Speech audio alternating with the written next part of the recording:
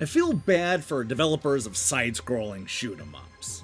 Over the last four decades, we've seen just about every incarnation of the genre that you could possibly imagine, yet fans continue to want new and fresh ideas. Sometimes you get them, such as when Newt Industries shook things up with their inventive risk system.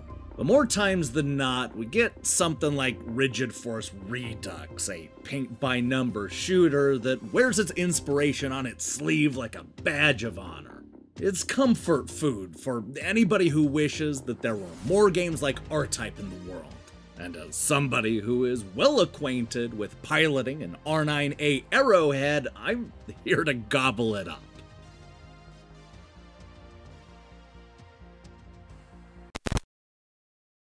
Rigid Force Redux is a brand new port of Com8 Com1's 2018 debut title, Rigid Force Alpha.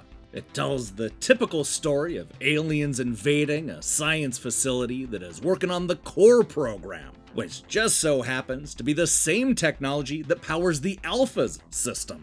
We quickly discover that this was no accident, which means that we either fight this unknown aggressor or let them threaten all of humanity. And as the captain of Rigid Force Alpha, you're definitely not going to let that happen. Now, it wasn't an accident when I compared the game to R-Type, because it has all the hallmarks of being a clone. It goes beyond the fact that the Rigid Force Alpha looks almost exactly like the R9A Arrowhead, because a lot of the gameplay revolves around a helpful little orb that floats in front of your ship and absorbs a lot of the stray bullets. You can also reposition it to give your ship more coverage, including shooting enemies that sneak up behind and even above you. This is, of course, not unlike what we saw in R-Type, though I, I like that you can move everything around with nothing more than a quick push of a button.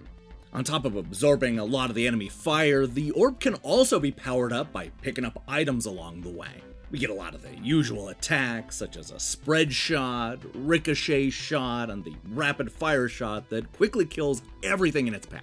We're also able to pick up a number of different types of bombs to drop, all of which can be upgraded for maximum damage. Best of all, you won't lose all of the upgrades if you get hit three times and die, because you can easily scoop all the items back up and go right back to kicking alien ass.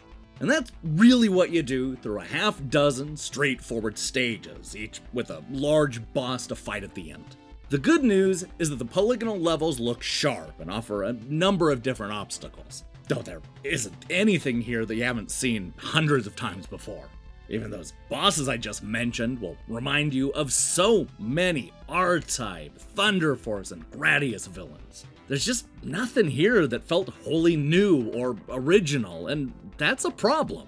In the future, when I reminisce about my time playing Rigid Force Redux, I have a hunch that it won't be the exciting levels or explosive action that I remember, but rather the lame cinemas. For a game with such a bland and generic story, a lot of time is spent telling it for as much effort and voice acting that has gone into this, I'm honestly surprised the game's premise isn't more compelling. They drag out every single story beat, even when it doesn't really matter.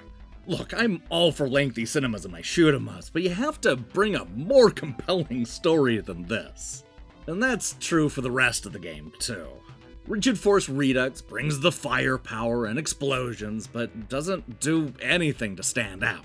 The game is fun because the formula is still fun, not because it's bringing anything new to the table. Despite some good looking backgrounds, I found the ride to be too easy and too predictable. It's the kind of shooter I'm gonna forget quickly. Rigid Force Redux gets the basics right, but you're better off playing through those old R-Type games. They're classics for a reason, you know.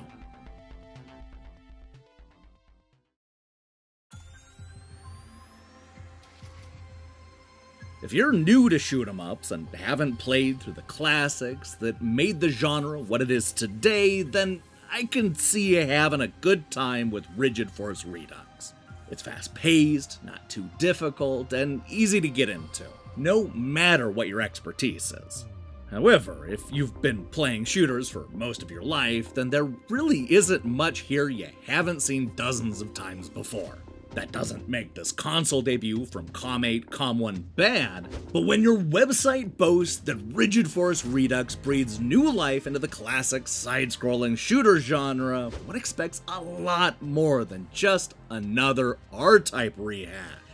At least make the ships look different. Guys, it's the least you can do.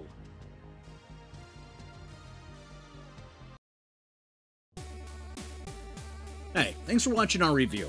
If you liked what you saw here, then you should know that we post new reviews and features almost every day. And here's the question I have for you. What is your favorite side-scrolling shoot 'em up? Oh man, between all of those old school gems and some recent hits, you got a whole bunch to choose from.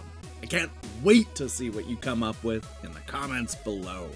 In other news, we'll be back tomorrow with a lengthy conversation about the state of defunct games. Specifically, how things have been going over the last few months. It's gonna be a roller coaster of a listen, trust me, but definitely worth tuning in for. If that sounds good to you, then I strongly recommend you click that subscribe button and support what we're doing. Until then,